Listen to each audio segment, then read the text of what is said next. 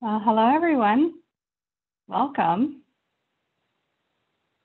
Uh, my name is Brandy Kuhl. I'm the director of the Helen Crocker Russell Library at San Francisco Botanical Garden, and I'm very happy to welcome you to our event this evening. Uh, while we wait for people to uh, continue to attend, uh, I just want to tell you that we're going to use the Q&A feature during the talk, and we'll reserve time at the end to answer as many questions as we can.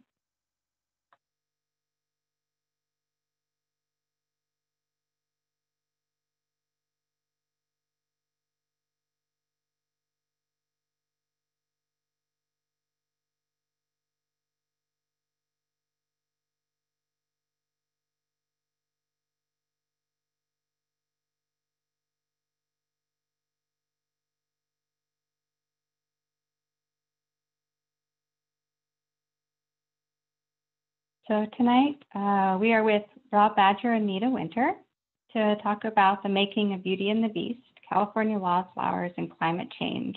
And Rob and Nita, I am so excited to welcome you both to speak with us. Thank you. Thank you. It's a treat to be here. We've really been looking forward to this. Uh, last week, we took a visit to the botanical garden and God, it was so beautiful. There were so many different flowers out. From uh, all over the world. Oh, yeah. We went to the African section and the colors were just brilliant. Um, it's the first time we've been there in quite a while. We're embarrassed to say, but it was just a treat to walk through and see so many people enjoying the beautiful space that you've created. It's just wonderful. I'm glad you enjoyed it. Uh, the garden is looking really beautiful right, now. And this is this year, you know, people are really taking advantage of getting out into nature and our open space and enjoying the garden. So we're so happy to be able to to be there for our community. So I'm glad you guys came. Oh yeah, it was a it was a treat. Well, and thank you for making this book. It's just it's really beautiful and um, yeah, I think that having it in a book format really tells your story and the narrative and shares your photographs in a way that um, you know no digital way can really capture. So I just thank you for taking. I'm sure it was a labor of love, and we'll hear mm-hmm. about it tonight. Yeah. But um, thank you for making the book. You're welcome. We well, really it, enjoyed doing it and sharing it with the world. It, it was a labor of love and it in, in our project took us to so many different environments in the state of california that i mean play, places we had heard about but just didn't realize how beautiful they were, were until we got there. And it, yeah it, it was a labor of love and a lot of hard work but everything was worth it to be able to share this with people like nita said.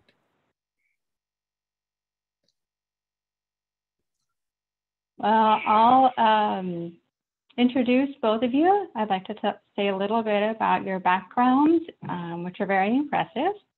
So internationally acclaimed conservation photographers Rob Badger and Nita Winter have been life partners, activists, and creative collaborators for more than three decades.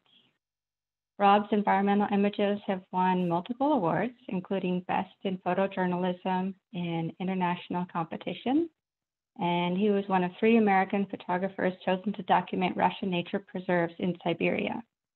In 1998, he presented a slideshow documenting the impact of mining on our public lands at the National Press Club in Washington, D.C. for the Sierra Club to support the Clinton administration's efforts to reform the antiquated 1872 mining law. Nita began her photographic career documenting her work fighting wildfires in Northern California and later as a national park ranger on Alcatraz. In 1986, Nita had her first major exhibit, The Children of the Tenderloin. This documentary project launched her career and directed her focus toward creating healthy communities. The series received extensive media coverage and showed her firsthand the power of photographic storytelling. Over the next 17 years, she produced and created portraits for six major public arts projects celebrating the Bay Area's diverse communities. Uh, their work has been featured in Time, Mother Jones, and Sierra magazines, the New York Times, Washington Post, San Francisco Chronicle, and the Los Angeles Times. And they are the recent recipients of the Sierra Club's 2020 Ansel Adams Award for Conservation Photography. So Rob and Nita are excited to take you behind the scenes on their 27 year journey photographing wildflowers throughout California and the West and the making of their beautiful book, The Beauty and the Beast California Wildflowers and Climate Change. Thank you. We will share our screen here so we can make our pictures larger. Thank you. Well, thank you for that nice introduction. We really looked forward to being here uh, and on yet another Zoom call. Thank you for all of you who have come to attend. I hope that you haven't gotten zoom zoomed out. We promise to make this as entertaining and beautiful as as we possibly can to keep you here. So thank you for attending. Um, as we said earlier, this is about our 27 year journey photographing throughout the state and the West, documenting the beauty on our public lands, the, the great diversity of wildflowers. And uh, it ended up with a project that uh, helped create our coffee table book, Beauty and the Beast, California Wildflowers and Climate Change, that we co-published with the California Native Plant Society last year. And it's received 12 awards, including the one that Brandy mentioned from the Sierra Club. So we were really pleased with that. And we really look forward to um, taking you behind the scenes and um, introducing you to the work that we do. So this all started in 1992. Uh, I was processing my film at a photo lab in San Francisco and came uh, noticed a fellow photographer, a friend of mine, uh, who said she had heard that the Antelope Valley California Poppy Reserve, a state park devoted to the preservation of the state flower, was having a really exceptional year after six bad years. And uh, she said, you know, I'm sure you've been to the Poppy Reserve and you've seen the flowers there. You've been photographing in California for years. I said, no, you know, actually, I've never really been to the Poppy Reserve. She said, really? You're a, you're a nature photographer in California and you haven't been there? Well, we really have to go. So she and a friend of ours and I went down, Joe from San Francisco down to the Poppy Reserve, which is about an hour north of Los Angeles, and came across this just incredible bloom of California poppies and a great variety of other flowers you can see mixed in. What made this such a special year was that um, normally the poppy reserve, which is covered with densely covered with flowers uh, and with, with California poppies. But this year you can see that there was a great diversity of flowers, including these beautiful purple tipped uh, bird's eye gilia. Um, and so it was a windy day, as it often is there, and I just stood there and watched the waves of wind move across these glowing flowers from right in front of me, way off to the distance. It was just mesmerizing. It was hypnotic. It was something like I had never ever seen before. And so uh, that evening, I called Nita and said, you know, I, I, I, just described to her what it was I saw and how much in awe I was of this uh, beauty that's been preserved on our public lands. I said, you know, you just have to see this. So a couple days later, I drove back home. We got, I got Nita, drove back down, and then we spent a few days photographing in this area, both inside the Poppy Reserve and outside. And this is BLM land. And I was a people photographer at the time, and I had an assignment when Rob went down, so I couldn't go down. But it, I was so grateful that he was willing to drive six hours back to come get me so that I could experience this as well. And we both grew up in the Northeast. So we had never seen wildflower blooms like this before. And we were hooked. We wanted to keep um, photographing wildflowers and finding out about them. And that started our 27 year journey. So, this is what introduced both of us and gave us the desire to photograph as much as we could these uh, these landscapes that were slowly vanishing to not only climate change but land development. Yeah, at that time we weren't really thinking about climate change, but over the years it became more and more of an issue. So as I mentioned, I was a people photographer. I um, started my career working on a project on the children of the Tenderloin, and Rob was a, basically a nature and landscape photographer. Mm-hmm. And and we've met in a uh, photo lab. I was waiting for my prints, and this print showed up. So over the years, we decided to collaborate and focus on the wildflowers. And we'll talk a little bit more about how that transition happened. And it took about five and a half couples counselors to help us um, work through actually working together, which is a challenge for a lot of couples. And we, have, we love doing it. And we have really, really different personalities. So we've learned to blend them over the years. So uh, people often ask me, ask us, what is the oldest image in the book? What was the earliest uh, date, time that you photographed wildflowers? And I said, well, um, this image was taken two years by before I met Nita in 1984. I had been looking for a beautiful picture of a California buckeye tree, and I was in the uh, hills around Carmel and looking for uh, wonderful buckeye trees at sunset and I came across this scene with these pretty purple flowers in there. I didn't know what they were at the time, but um, I said, well, uh, this would just add to the composition of the tree. So uh, this was the earliest image uh, that people will see in the book. And again, it was in 1982.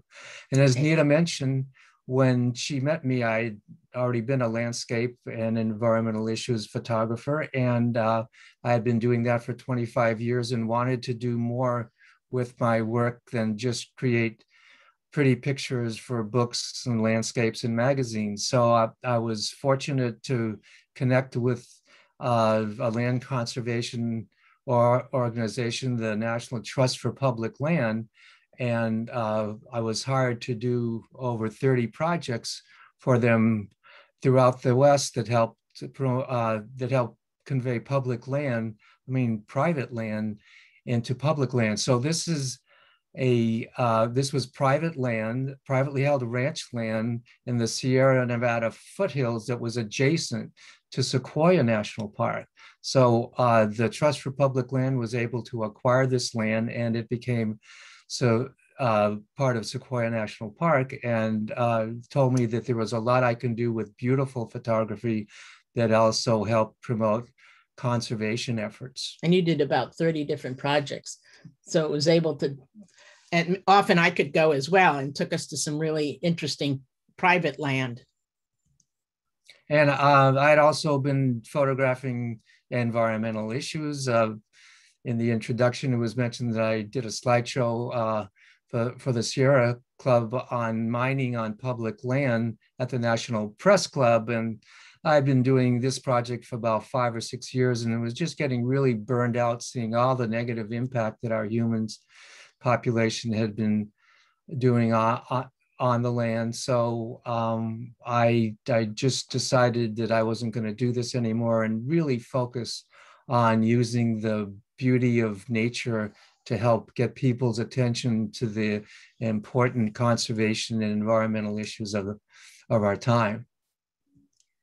And as I mentioned, I was a people photographer. The image on the right is from the Children of the Tenderloin series. And before that, um, as Brandy mentioned, I was a firefighter. I was the first female firefighter up in Leggett, northern Mendocino County. And this is, I kept a, a camera on my belt and this was a photograph that I took um, of a pile of large tires from land moving equipment that were that was burning. And this actually won my first photo competition award in an international Nikon competition. And the image on the left is from a powwow. It was taken at a powwow in San Francisco. And I uh, worked with Taya Schrack, who was a wonderful um, artist and hand colorist, and she hand colored a, um, a whole series of image of, images over the year for the Children's Defense Fund calendars. And on the right is one of the public art projects uh, that was mentioned, and it was called the Faces of. So it was the Faces of the Canal, uh, Marin City, Vallejo, and Novato. And these are seven foot banners that would hang in the streets. And um, I ended up having some health problems. And so I decided to stop doing the people photography for a while, but it actually allowed me to go out in the field with Rob and photograph wildflowers. So th this was an this was a picture that we met. Uh, this was a picture that someone on the trail we met took of us while uh, we had backpacked into Eldorado National Forest, Lake Winnemucca, which is just a little bit south of Lake Lake Tahoe. It's it's the convergence of a, a many different ecoregions, which meant there would be a great diversity of flowers and plants there. So we decided instead of doing day hikes in and spending time hiking in and hiking back out, we would backpack in there and get as many flowers as we could. Uh, so at that time, I was carrying 85 pounds of camping gear and photo gear, and Nita was carrying 65 pounds. And we did that once, and we decided never to do it again because it was just so much weight to carry. But um, later on, we'll tell you how we photographed the plants out in the field without just without disturbing them and using natural light, natural light to capture the plants in their most beautiful light. And this was taken in um, probably the second week of, of September. And this, due to climate change, we have these severe droughts, and then we also have these deluge of rain and snow. And this year, there had been so much snow that the flowers were actually three to four weeks late. So we were there after Labor Day when everybody was gone um, and was able to still photograph flowers. And we'll talk a little bit more about what um, what the problems are when the flowers are at different uh, bloom at a different time than they normally do. And in order to pay for the project, we were able to sell artwork for, to art consultants and architects to be built into mostly medical centers. And this is um, eight foot tall, 20 foot wide lobby divider. And this was one of seven of these. And there were 34 images built into this architecture. So this is an image of California poppies. And uh, I developed a way to gently get the flower petals in contact with the lens. Uh, it's called the contact series.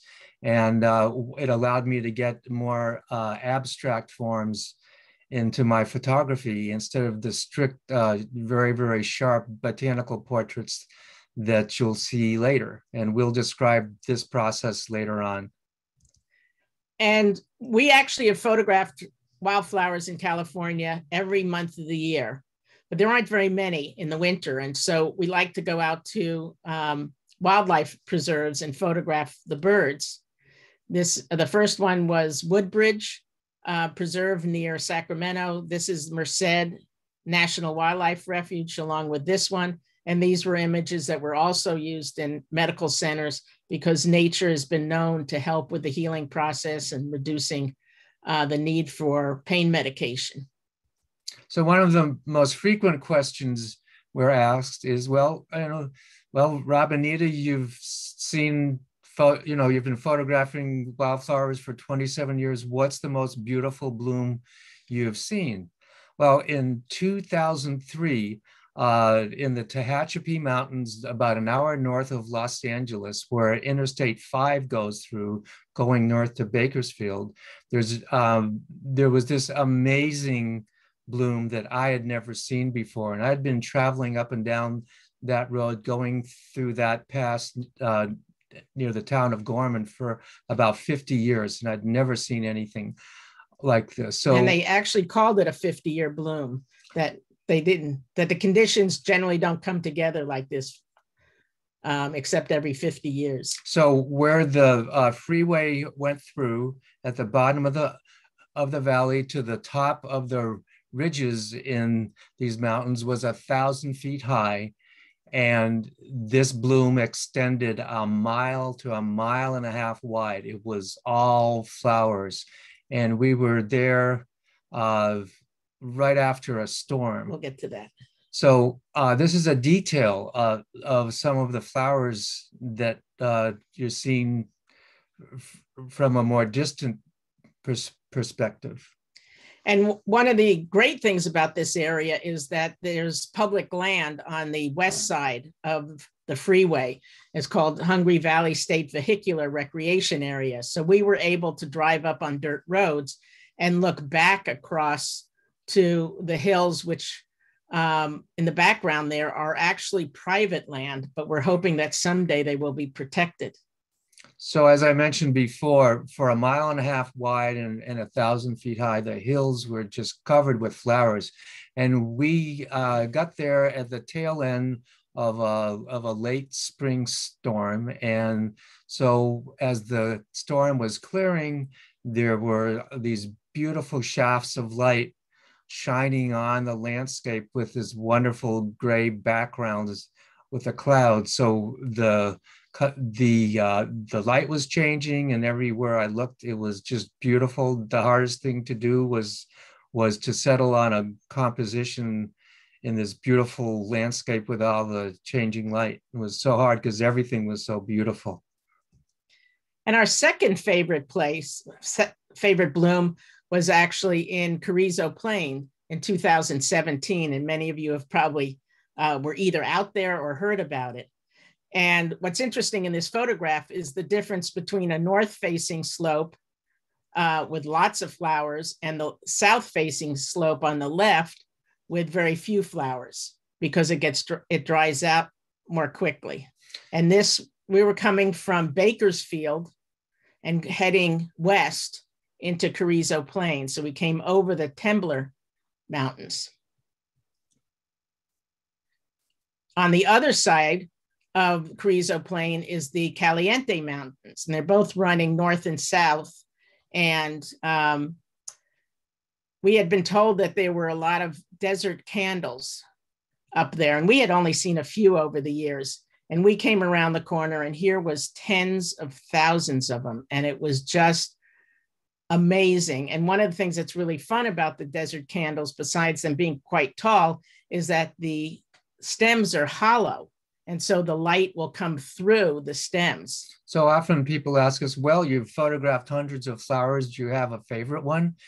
And my favorite one is the desert candle because it's such a unique flower. It's just got so many different colors to it. And like Nita said, because the stem is hollow, sometimes it just looks like it glows. So that's that that's my favorite flower of all the flowers we've been photographing for 27 years. And what's interesting too is this is actually in the mustard family. So this is the Carrizo Plain, and I included the road in, in the photograph to give a sense of scale as, as to how expansive this beautiful super bloom was. Uh, you are looking east from the Caliente range that we were just talking about toward the Temblor range, and Bakersfield would be sort of over the hill directly in front of us beyond the beyond the mountains. So the flowers extended way beyond the frame of the photograph to the left, which is north, and to the right, which is south. Close to 60 miles, right? Yeah. And this is a detail of some of the flowers that were that we were seeing from the distance. And this image was taken with an iPhone, an iPhone 6. So um, we figured out that we have used 11 or 12 cameras over the 27 years, including the iPhone. And we included in the book a, a section and also the exhibit called Behind the Scenes. We really like taking people behind the scenes and showing them how we uh, create the images. So I'm going to take just a little bit of time to describe how we do all this work out in the field with natural light. On the left-hand side, in the top uh, left corner is what we call a botanical portrait. So we isolate the flower from its setting, place a black or white background behind our subject to eliminate dis, eh, to eliminate distracting background. So we'll do black or white, and our goal is to get the flower uh, sharp and show as much detail. So we call this a botanical portrait. And it's the flowers are always still attached to the plant. We never cut the flowers to photograph them. So after just putting black or white backgrounds behind the flowers, I got pretty bored with that. And I thought, well, is there another way to show the beauty of the flowers and add another, you know, artistic element to it? So I came up with a uh, with an idea to wrap the flowers in a fabric, either black or white, and uh, add the composition of the folds of the fabric uh, to the whole image to help make things a little bit more interesting. And this this is a this is a time consuming process because first I'd have to find the best angle to view the flower and then play a while with the fabric and the folds to to get the fold just right. So it was a lot of trial and error to get these compositions. And we ended up with a chiffon fabric, which is very lightweight. And if there was much of a breeze, um, it would often change the composition of the folds. So we'll show you some of the wrap series later. And, and, and again, I was looking for another way to uh, uh, show the beauty of these flowers. And I and I created a way to bring the uh, flowers petals gently in contact with the front of the lens.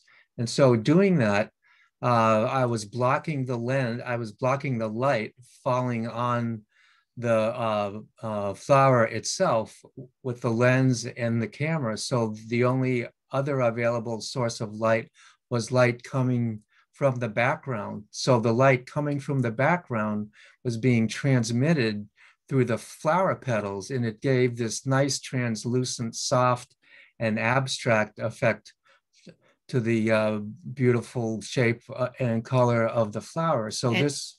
Can I interrupt for a second? Sure. So by the background, we're not saying we're putting a background in there, but from the light that's behind the flower. So it would be grasses or whatever the sky or whatever. So I always made sure that I had uh, some elements of the image in focus so people could actually see what some of the detail was with the uh, flowers I was photographing. And again, this gave me another creative outlet and, and another way to show people the beauty of the flowers. And I'm grateful for the response that we get for these particular type of images that aren't just straight botanical portraits. And it also took Rob off the uh, off the tripod, so it was a much more spontaneous type of approach. And um, these images we consider his, hers, and ours. Um, and lots most, of hours. Lots of hours um, and hours. And um, it was a very collaborative process. I was called Eagle Eyes as a child because I would find money on the beach and and so I was really good at finding the flowers. And then Rob, who's a Capricorn, was and had a lot of patience, was really good at, at looking at the composition. And then um, we would take a look at it together. But he was willing um, to be behind the camera and sometimes in very uncomfortable positions, as you'll see. Nita found this flower the previous evening and it was too dark to photograph. I was still photographing with film. This was probably 1998. 98, your 50th birthday. Yeah, this was my 50th birthday. So uh, we decided we'd come back in the morning. We came back in the early morning so that it, there would be very, very little wind at this time of day in the desert. This was in Anza Borrego Desert State Park, east of San Diego. Um, so the light was coming in at a very low angle, and uh, in it was it was uh, illuminating just one side of the plant, and the other side of the plant, and and the blossoms there were all in shadow. So we had to bounce light in. We took one of these windshield protector uh, screens that have like an aluminum coating on it and bounce the light in there. So the left side and the right side had light, but the front facing the camera didn't have light. So we had to set up this plastic fabric and bounce light in, in there. And I was doing uh, Polaroid pictures every time I I changed the lighting, and this this flower took two and a half hours to do because I was doing film and Polaroids. But in the end, it was worth it because this was an amazing desert lily uh, with so many blossoms like I had never seen before. Normally, this plant is about two feet high, uh, maybe two and a half feet high, and it is white blossoms alternating going up the stems. But this year, uh, there was so much rain. We figured that the plant was putting out three stalks instead of just one and putting so much energy into producing seeds for, for the seed bank. And I also wanted to point out on the left side where you see the jackets and the camera bag, those were put there purposely to shade both the sand and the leaves so that they wouldn't be distracting. And um, some people have noticed our little family friends there, um, our rabbits and uh, Rob's spiritual advisor and art critic, Zorro, who's uh, a monkey who travels with us a lot. He's in the black hat. And, and, and so as you see, we didn't have the light on the on the sand as it would be distracting. We live five miles north of the Golden Gate Bridge in Marin County. And so we are fortunate that 40% of the uh, county is protected land, public land. And there's an amazing, amazing amount of diversity found here. So we'll be taking you through some more um, what we call setup photos to give you a sense of what goes into it. And as I said, I was really grateful that Rob was willing to really suffer um, in some of these really awkward positions. And as uh, also, as we said before, uh, it was our commitment to do no damage to either the flowers or the immediate environment where we were photographing. And so um, everything was done with natural light. We used diffusers and reflectors, and we'll talk a little bit more about that later and not and some of the equipment was very basic not not very fancy um, windbreaks were often um, needed if there was a breeze especially when we were doing film rob packed up this i was in uh, traffic school that day and uh, it started to pour two minutes after he packed up uh, as we said before again we do white backgrounds and black backgrounds and take the images home and decide what it is we like and you know, what we think best represents the beauty of that flower. And as Rob mentioned, um, we're, we're really careful about where we um, photograph. Most of the time, it's right next to a trail or a road. And um, if we can't get access to it, without doing damage, we will walk away and say we will not photograph that flower. And so again, here is the wind um, break created again by um, uh, windshield shades. And we try different angles. You know, we don't always want to come straight onto a flower from the front. And when it really gets windy, we've had to set up uh, windbreaks, a, a, tent that will really um, cut down on the wind. I was photographing this beautiful, brilliant Franciscan paintbrush uh, near Rodeo near Rodeo Beach in uh, Golden Gate National Recreation Area. And the first image I got, I wanted to get as much of the plant with the blossoms as as possible for a nice botanic portrait.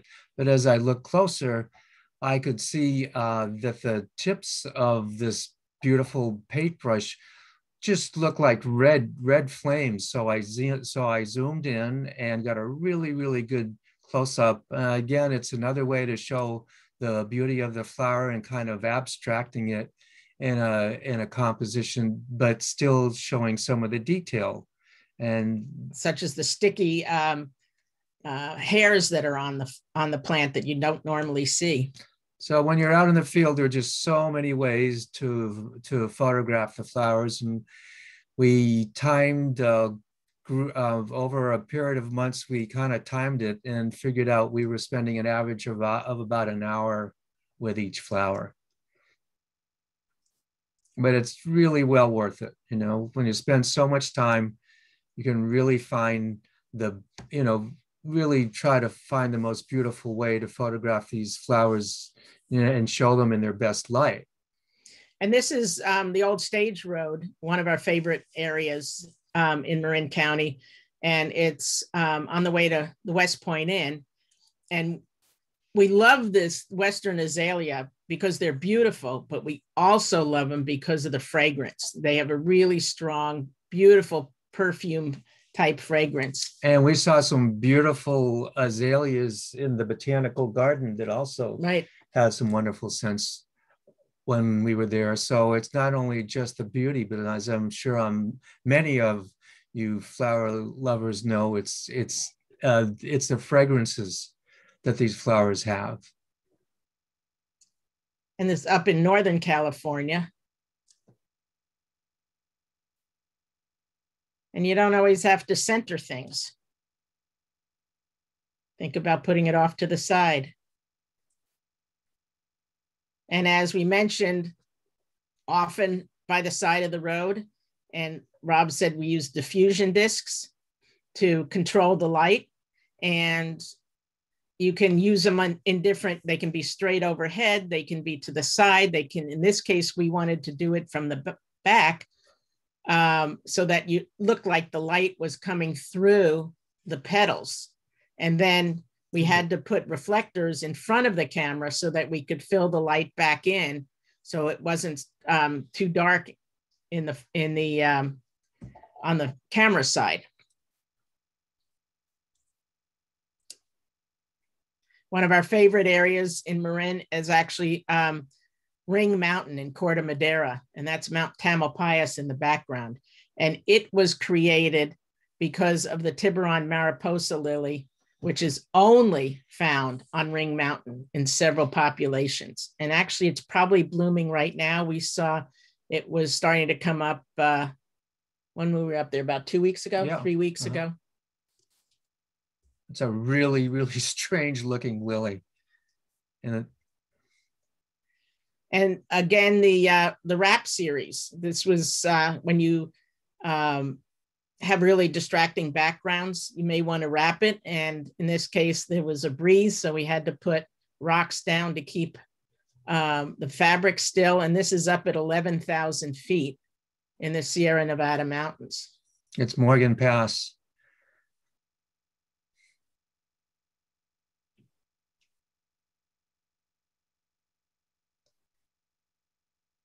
And another wrap series. Again, trying to make the folds an interesting part of the of the image and complementing the geometry of the uh, of the flowers.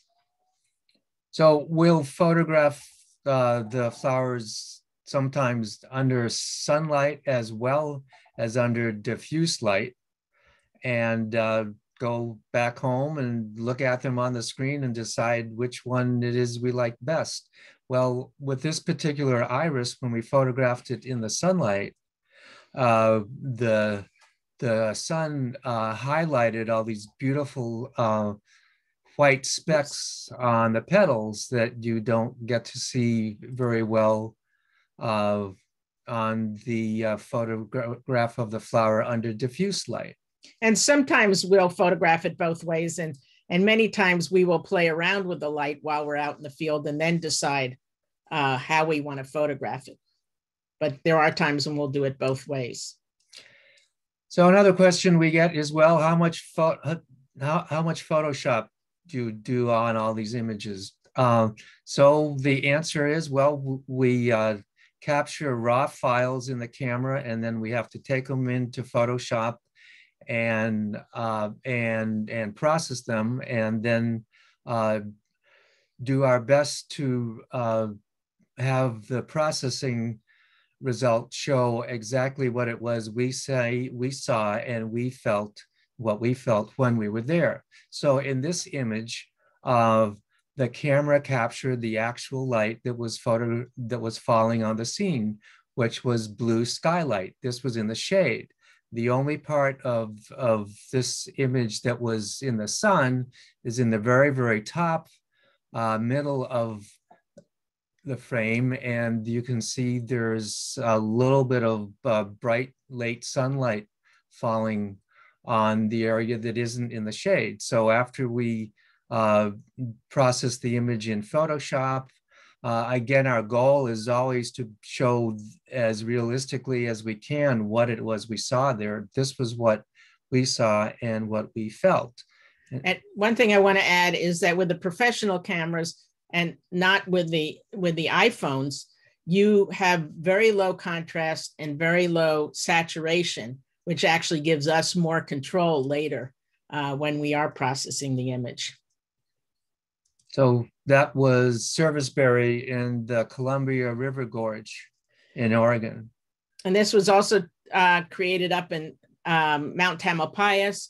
And we needed a really big background because it was a fairly large plant. So we had brought out a big fabric that had wrinkles in it. So we take it into Photoshop and we clean up the background. But we did start with a white background. And this is how it appears in the two page spread in the book.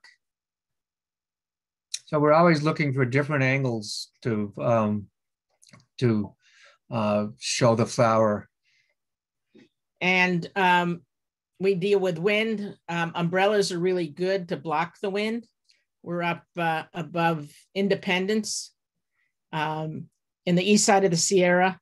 And it was so windy that we were dealing with a lot of blowing sand. So we have two pieces of fabric to slip it under this plant, which is very low to the ground, and there's all the sand on it. So we take it into Photoshop, we clean up the background, we bring the saturation and the contrast back up to what we remembered the plant to be. And again, the two page spread. And we deal with wind, as I mentioned, and rain um, and heat. We also deal with bugs. Uh, our worst experience with the bugs was in Utah. We went to Capitol Reef and we were there for a number of days. And we were on our way to Taos, New Mexico. We, I had been wanting to photograph these flowers. We saw them by the side of the road. We got out of the car in the middle of nowhere. And within three minutes, the no-see-ums found us. And no-see-ums, if you don't know what they are, they bite and their bite is worse than mosquitoes and they are so small that they'll go up your nose and into your ears and into your clothes. So i actually was forced to go back to the car find some clean underwear that we could put over our heads in order to um, keep the bugs out.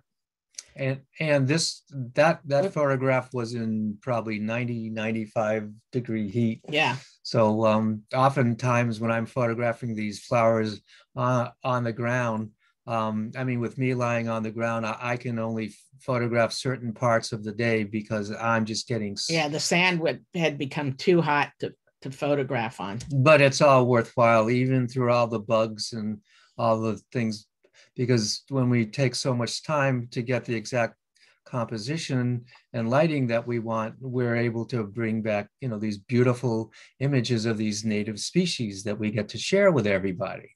And Rob had, we figured he must have had about 200 bites on him on that trip.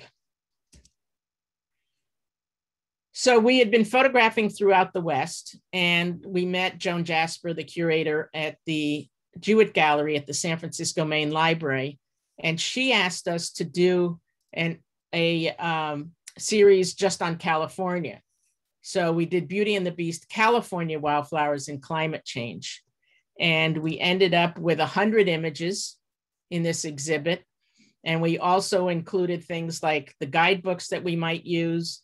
Um, I, I like working with um, binoculars when looking for flowers. And then we also have knee pads, which are really important when you want to be photographing on the ground. And so Ergodyne makes these wonderful um, gel knee pads that feel like you're you're kneeling in stiff jello. And Brandy will be letting people know in the follow-up email if you're interested in finding out more about them. And so this exhibit um, helped us create the traveling exhibit. This had 100 images in it. The traveling exhibit, which has been seen by over 45,000 people, now has 52 images in it. And this is what it looks like, uh, part of it right now at the Los Altos History Museum. And it's up there until July 11th. And um, there's, it's moving to some other places. And I'm, I'm sorry, I don't remember where they are, but if you check our website, you'll be able to keep track of that. We're also really tickled that the San Diego Natural History Museum decided to make a large print version of our traveling exhibit and called it California Blooming Wildflowers and Climate Change in Our Golden State. And this is a semi permanent exhibit with fl flowers up to, I mean, with images up to 12 feet tall. So this was a mock up that they sent us when we needed to prepare the files. And you have to be really careful when you prepare files that go 12 feet tall because a tiny bit of speck will now be six inches. And so this is um, part of that exhibit and it will be up for at least a year. And um, I think we're talking to them about another seven months beyond that.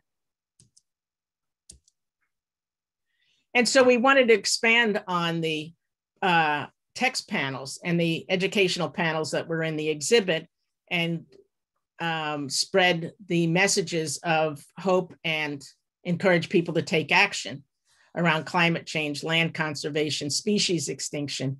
So we decided to do a book and we wanted to have many diverse voices tell the wildflower story. So we were able to pull together some absolutely wonderful people Peter Raven in the upper left is a world renowned um, botanist and the former director of the Missouri Botanical Gardens. He wrote our foreword and a wonderful story on the origin of California's um, plants. Jose Gonzalez, right next to him, he wrote a wonderful story. He's the founder of Latino Outdoors, wrote a wonderful story about um, connecting to nature. So our um, the age range was 20 to 82, and we had, um, out of the 16 authors, we had 11 women. So we're going to show you more images throughout the book. These are um, all the some of the organizations that we collaborated with. Uh, we couldn't have done this book on our own. And uh, with the help of the California Native Plant Society and many of its members, we made the book possible and the images that we're going to continue to, to show you. And that's because people knew where to find the flowers and we were able to, to learn um, where to go. So the book is divided into three sections, the gift of beauty, the human connection, and ensuring the future. Which includes 25 different things you can do to make a difference. So Gordon Leppig is a, a, scientist with the California Department of Fish and Wildlife. He wrote the story on wildflowers and climate change. Ryan Burnett, who's with uh, Point Blue Conservation Science, wrote this wonderful story about the research he was doing on the effects of climate change on the um, epic migration from Mexico to the northeast, northwest, and possibly Alaska of the rufous hummingbird. And so this image that you're seeing of the rufous hummingbird. Can we, talk about the climate change first oh, before? Oh, sure.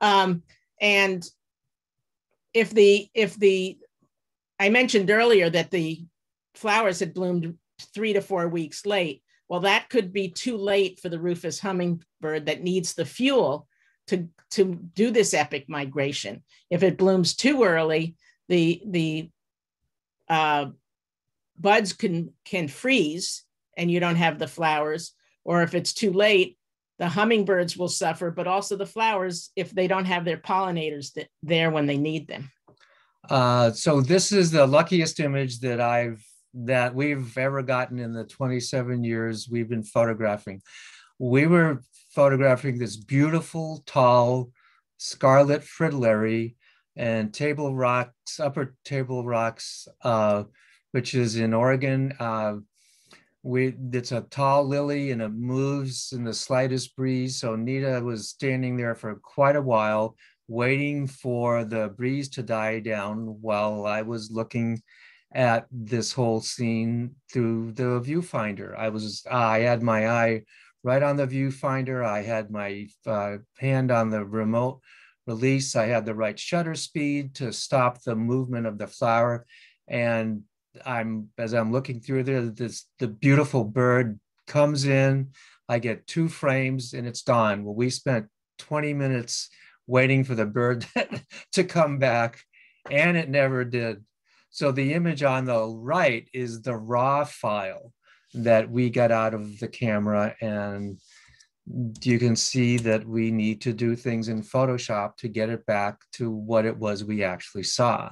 So this was the luckiest photograph that we've gotten over the past 27 years of photographing wildflowers. And this, um, as you can see, was actually taken as a vertical and we work with very large um, cameras with very large resolution 36 megapixels 42 megapixels so we could do the hospital work and also it would allow us to crop in and be able to take this image crop part of it and this one is actually 55 inches wide in our exhibit so we included some of the uh, words of, from the national wildlife federation on pollinators and encouraging people to plant natives. We have a story on California's five deserts. Robin Wall Kimmerer is a Native American botanist and um, a writer and did a wonderful story on what's in a name from a number of different perspectives, including her heritage. Wendy Tokuda who was a um, news anchor in the Bay Area. Some of you may know her. When she retired, she began to do restoration work and broom pulling. So she wrote this wonderful, very funny story called Zen and the Art of Pulling Broom. Amber Pairis talking to children about climate change without scaring them. Also works in talking to people who don't really understand climate change, who are our adults. Genevieve Arnold from Theodore Payne Foundation about seed banking. And there's also a, a section on, in the book on fire recovery, fire ecology, what happens after a fire goes through. Uh, and so th- we we photographed some of the burn areas where things were just devastated, and saw how life was returning. Uh, it, it was just amazing to see life coming back in a in an area that had been burned and just just devastated by wildfire wildfires. And what we found is that um, the flowers really like the ash that as a fertilizer. And if they get the right rain, this is only six months after a fire in Lake County. And this was the, how much growth was coming back. So this area was all totally burned. And this like Nita said, six months later was was the beauty that we were able to capture. And bulbs in particular um, really like to come back, and because now they have the sun um, that was they were deprived of uh, when the trees were uh, in foliage. This area had been completely burned. If if you looked at the soil, uh, it was all it was all charred and what it does is also cleans the thatch, the old grasses, et cetera, that were there. This area was burned and this area was burned. You can see in the uh, uh, top left that uh, these, these pine trees had been burned, but these beautiful California poppies and all the other plants, cream cups and the cream cups and tidy tips came back after the fire. And um, this was the Tubbs fire, the one that went through uh, Santa Rosa and did so much destruction, killed so many people. And these are some of the um, portraits that we did in that area. Nita found these two flowers together. We didn't move them next to each other. So sometimes you see these beautiful uh, pairings of different colored flowers that make just an extraordinary composition. All these images are, are in the book. like we said. Well, not all the setups, but most. Right. Yeah. Yeah. And we want to take you to some to uh, some of our favorite areas, which is the desert when it's not hot, and this is uh, Death Valley. This was, I think, 2016 super bloom. So the yellow band at the bottom is all these beautiful desert sunflowers. And I'll also, it's sometimes nice to show the areas that, you know, the land, the landscape, the rocks that these flowers grow in. So I took this image to show this beautiful scattering of, again, the desert sunflower in a totally different environment. And this is the same year. So we're in another part of the park and there it doesn't seem to be that much blooming here. But if you look carefully in among the rocks, we found the desert broom rape and then wrapped it in fabric. And then we like to look for insects that are on the flowers as well, part of the ecosystem. And in 1998, we went to our first 100 year bloom in Death Valley. And that was what they used to call the super blooms um, when all the conditions came together. They used to call 100 year blooms. What they used to call 100 year blooms, excuse me, um, when the conditions generally would only come together every 100 years to get this type of bloom. And now with climate change, they're happening more often. And so now they call them super blooms. So this is uh, Joshua Tree National Park, which is another one of our favorite parks because it encompasses two different deserts. The northern part is the Mojave Desert, and the southern part is the Sonoran Desert, uh, the Coloradan Desert. So Joshua Tree uh, is so much granite, and the soil weathers into this coarse uh, granitic soil, and it's just beautiful to see these flowers growing out of of just this thing that looks like nothing could absolutely grow there. So this is a, a, desert Canterbury bell in an average year. This is about the height of the flower normally. Uh, well, in 1998, again, there was an El Nino year with an abundance of rain and the flowers in this wash near Cottonwood Campground uh, were just growing abundantly and they were growing taller and taller than they normally did because the rain kept coming and there was an abundant uh, amount of rain. So it was just fascinating to see these flowers and the, the different types of flowers growing out of something that just didn't look like soil at all that we're used to. And these are some of the other flowers that we've found in this case in Joshua tree, but also can be found in other other deserts in the area.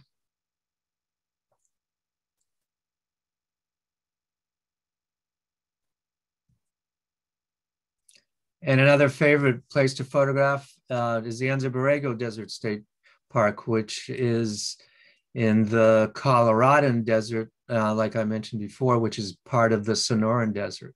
And we particularly like the, the southern part of the of the park because there are fewer people there.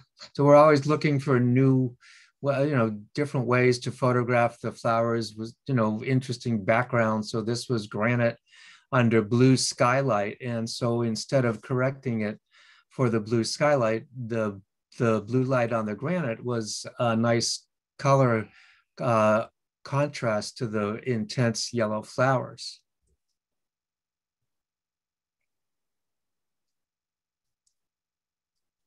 So here's the two page spread with the, um, the desert lily that we mentioned on the right, and then the desert chicory on the left. And again, looking for a different angle than most people would. And when we went back to the um, Anza Borrego in 2005 for the second 100 year bloom, um, we had some rain nine out of 12 days. So we had rare fog that we found at the uh, in the desert. And our other favorite place to photograph is where it all started in 1992 in the Antelope Valley, California Poppy Reserve. Uh, this I get this was an abundant year, and there was a great variety of flowers, and we particularly like this because you know here it's spring in the desert and still snow in the mountains north of the Los Angeles basin. I think those are the San Gabriel Mountains. They're wonderful ground details. So not only are we looking for, you know, vast panoramic landscapes, we're also looking for details like uh, I photographed uh, and we showed earlier in uh, Joshua Tree. And this was taken the same weekend as the um, the ones in Gorman, those gray clouds in Gorman. So we left Gorman and came out to um, the poppy reserve. It's a gray day, so all the poppies are closed. But as you can see, it's just poppies in this area, not the mix that Rob had initially. So one of the reasons we did this project was to try to um, encourage people to make a difference, to take action, to vote, to plant, join, donate, volunteer. And our website has more information on that, and so does the book. You can also become a citizen community scientist, an iNaturalist, and Nature's Notebook are two of the areas, that, uh, the websites that you can um, get involved with in uploading your photographs and data. And you don't have to know the name, they will help uh, identify uh, what you have there. So, so some of the images, I mean, some of the flowers in the book were photographed out of state. Uh, um, this beautiful prickly poppy was photographed in the Great Basin Desert in Nevada, and this species also occurs in California. So we have a few images in the book where uh, like the hummingbird. Like like the hummingbird uh, where that species is out of state but also lives in california so we wanted to include it. And also like i said before we're always looking for interesting backgrounds for the flowers. So we found this beautiful serpentine boulder. Serpentine is the state rock uh, in the sierra foothills with this wonderful blue dicks uh, flower right in front of it. So I was able to capture the flower again with a different background. Another favorite area to go to in Northern California is Table, uh, North Table uh, Mountain Preserve. And these are some of the alpine um, or subalpine flowers. And again, these, these are two page spreads that are found in the book.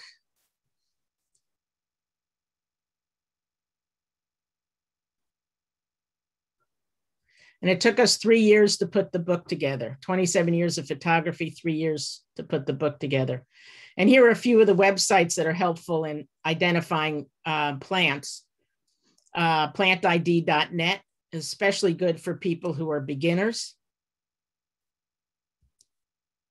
CalFlora, a little more advanced and, and can show you um, what particular um, species are in different areas.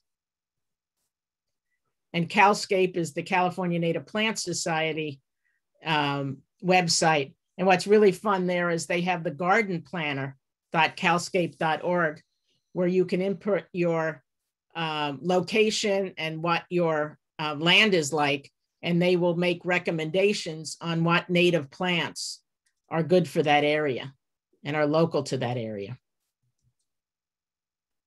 Wildflower Reports, Theodore Payne Foundation has a great one, especially for Southern California. CNPS Facebook pages um, are good places to get a sense of what's happening. DesertUSA.com is also a great one for not only California, but some of the other states in the West. So we'll take you through a few more spreads. So fast. And then open up to questions. These are orchids that are found in California.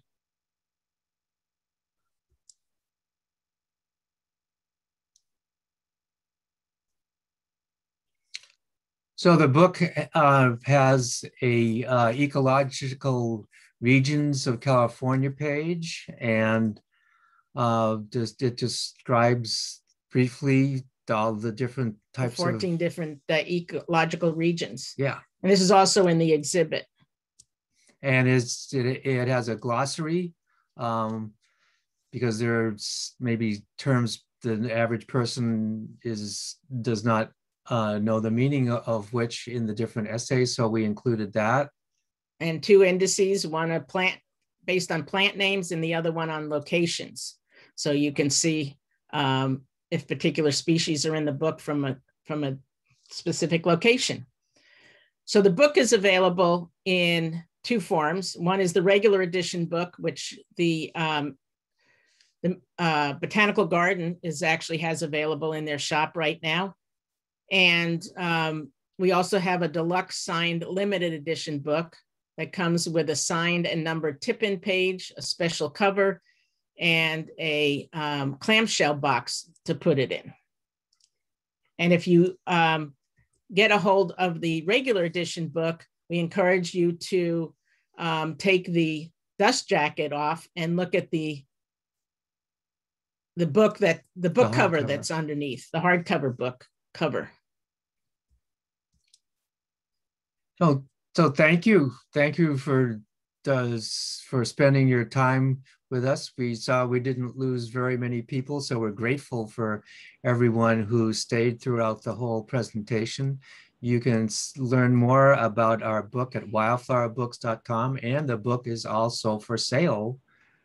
um, through the botanical gardens, or if you end up doing it through our website, let us know that you came through this program, and we will give a percentage to the to the gardens. And there's also a lot of information and videos, etc on the website. And um, we always love to hear from people. If you have questions beyond tonight, feel free to contact us. And So we like to we like to end with this wonderful quote from David Brower.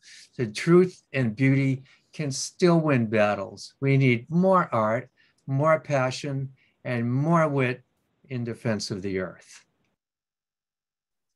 So thank you for joining us. And we are open now to taking questions. Well, thank you, Rob, and Nita. That was just an amazing story. It's really inspirational, your passion for photography and native plants. Thank you. Um, so I would like to open it up for questions. Feel free to uh, use the Q&A feature, and we do have a few that have come in already. Can you see? Um, I think you may have mentioned this briefly, but one of the questions is, do you photograph at Table Mountain? Yes, we yes we do. I mean that's a that's a wonderful area. We've been photographing over the years and seeing how it's gone through different land agencies to you know finally protect as much as they possibly could. And what makes that environment so interesting is it's just uh, so much of the land is volcanic rock, and so you'll have uh, a little bit of soil here that's got one kind of flower or one grouping of flowers on it and an area where there's a lot more soil and you different and you see different species so what's so wonderful about that place is that is that the the geology of the area is so close to the surface uh, and where there's some water you'll see some kind of plants and very little water others. So it's a great place for diversity. And one of the things that we didn't mention is how things have changed with social media as far as how many people go out to places. So Table Mountain can get very crowded, especially on the weekends. And uh, we always encourage people to be very respectful of the land and of the flowers and to stay on the trails. Um, when we used to go out at the beginning, we could be out for, we would go to out on the really big years for three to four weeks at a time and there were some areas where we wouldn't see anyone. And now you have the Anza Borrego um, bloom where they had a five mile backup and, you know, tens of thousands of people heading out to the desert.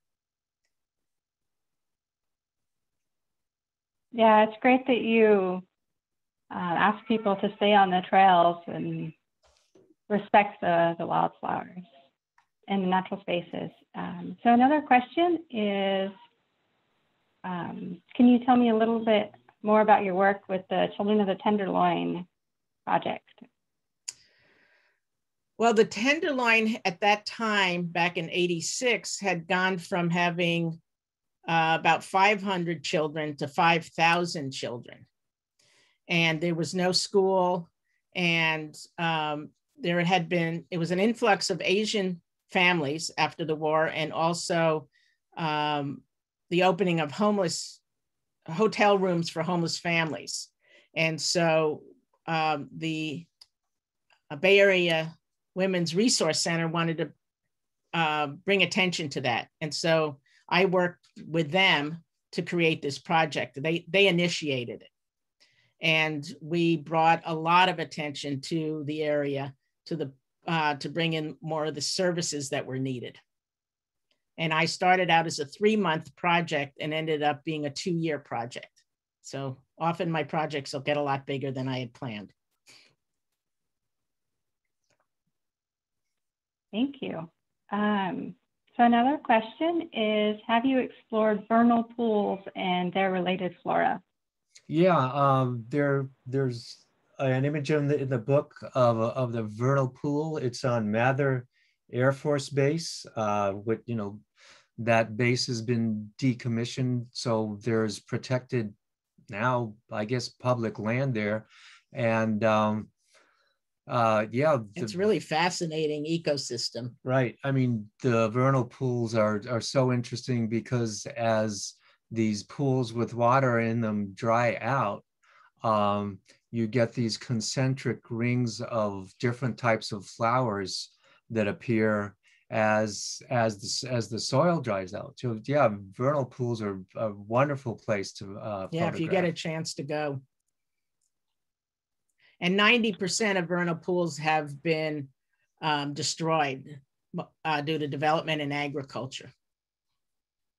And, and it, they're created because the soil is not permeable, so the water pools rather than soaking into the ground, and that's what makes them so unique.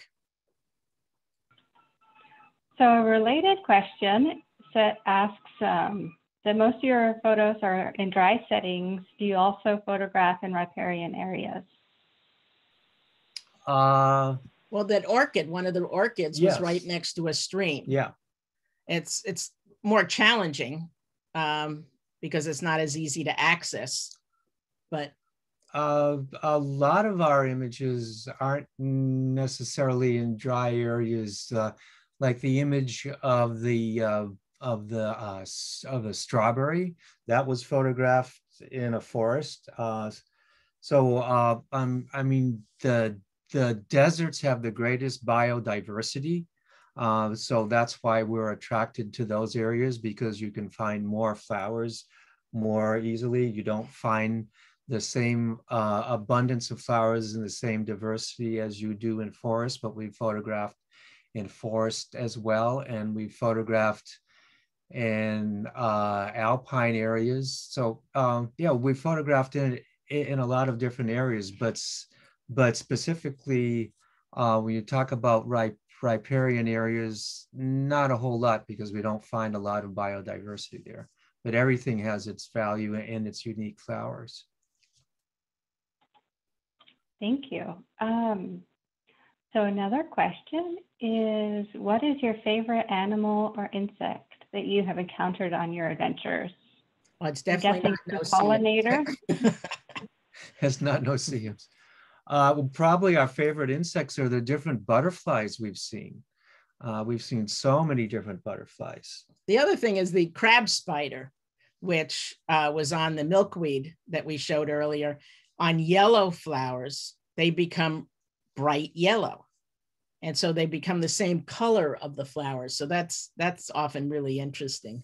One of the nice things about photographing in the way that we do, taking an hour to do a flower, is that we do see insects come in. We, you know, with the we were in a in a desert wash in um, Joshua Tree National Park, uh, that area where we showed just the small canterbury bells. We were there for about what three or four hours photographing different flowers. In this and this mockingbird was flying back and forth up, uh, across the wash and was like it was serenading us. And a mockingbird, you know, has very, very had very, very different calls and sounds. So um, to be there for that long was just amazing to have that experience with the sound of the bird there. So I hope that Yeah, answers when the you- question. Yeah, that's great. I can imagine when you're in one place for a long time, you can really you get all these animal and insect visitors that you wouldn't see when you're just walking down a trail. Um, I think we have There was time one for more, one more question. there was one more And, that I um, saw that yeah, was, one more question, and I think it wraps up the event nicely. It's what is your next step? well, we have several things in mind. Um, we have, um, we want to create a project, uh, a audio book for the visually impaired. So we can take them on our journey photographing wildflowers so that not only do we have the essays read, like most audio books, but Rob and I will also be describing images, um, describing what it what it looks like, what it uh, what it looks like to us, and um, what the environment was like, what the experience was like, so we can bring people um, along with us and help tell the flower story. And right now we're in a fundraising um, stage for that, and also looking for partners to work with on that project. And then the other thing is um, looking at possibly doing some children's books related to uh, wildflowers and and have uh, Zorro, Rob's spiritual advisor and art critic, The little beanie baby. uh, be the should have brought him. narrator, being the narrator of the books. So that's that's that's what we're looking at next. All right, well, thank you both. Um, and thank you everyone for joining us tonight. As Rob and Nita mentioned, um, you can buy the book at San Francisco Botanical Garden Bookstore. Uh, you can pick it up at the garden or buy it online. And the garden also has a really beautiful native plant garden where you can see some of these wildflowers. And the peak bloom is April and May, so we hope to see you in the garden again soon. Here's another question. And Well, we really enjoyed doing the talk tonight. And again, if people want to reach us, um, feel free to through our website. And um, that remember, California has wildflowers in certain areas all times of the year. You just have to slow down sometimes and and really uh, look around. Can I answer one more question? of course. Uh, someone said, what advice would you give to a photography hobbyist taking flowers in the San Francisco Bo- Bo- Botanical Garden? Um, well, I find if I take the time to just look around at very many different angles, make sure I'm avoiding dis, dis, distracting parts of a scene, like trees you may not want in there or branches or things. Um, it's really important to look at every part of the frame uh, to see what may be taking away from the feeling and the essence of the image that you're really looking for. So avoiding things that just don't seem to add to the composition is really an important thing. Uh, slowing down and just looking at everything and just paying attention to how one view feels versus something else because when we've been doing flowers and I've been doing portraits, there are so many different ways to look at a flower. And I find that I just trust my feeling. You know, when something feels good, that's the time to make the image. So being aware of the emotions of the experience, uh, how it feels to look at something is really important. I hope that's helpful. Yeah, and also to look at the light. Yeah. uh, whether you have distracting light or whether you actually want to uh, play around with a with a diffusion disc, uh, which you can find online, or um, even use your body or your friend's body to shade something so that you don't have distracting light on it. Um, the other thing is to think about how close you want to get or further back. And if you're photographing with an iPhone, um, there are actually uh, small lenses you can buy, macro lenses that you can put on your iPhone so you can get in closer and do uh, macro work. So there are basically two kinds of, well, there's a lot of different kinds of photography in flowers, but there's the macro work, obviously, where you isolate just a flower or a few flower. Then there's a little bit of detail, and then there's the grand wide angle view. So I think one of the most important things would be have fun and be patient. you know, explore and enjoy the exploring. But patience for me was something I really had that allowed me to get what it was I wanted. So, um, and it's just playful, you know. Recently, we took a hike up Ring Mountain in Corte Madera, actually earlier in the season. It was just the two of us, and it took us eight and a half hours to go two, two and a half miles. And so, and because we kept stopping to photograph. And when we go with friends, we can't do that. And so it might be a two and a half hour hike instead of an eight and a half hour. Oh, that's another good piece of advice.